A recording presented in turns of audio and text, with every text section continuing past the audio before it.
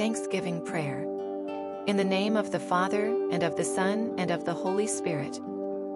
Amen. Hail, Queen of the Most Holy Rosary, my Mother Mary, hail. At thy feet I gratefully kneel to offer thee a crown of roses, blood red roses to remind thee of the passion of thy divine Son, with whom thou didst so fully partake of its bitterness, each rose recalling to thee a holy mystery each ten bound together with my petition for a particular grace.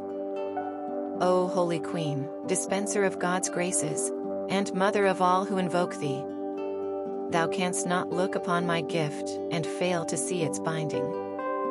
As thou receive my gift, so wilt thou receive my thanksgiving. From thy bounty thou hast given me the favor I so earnestly and trustingly sought. I despaired not of what I asked of thee, and thou hast truly shown thyself my mother.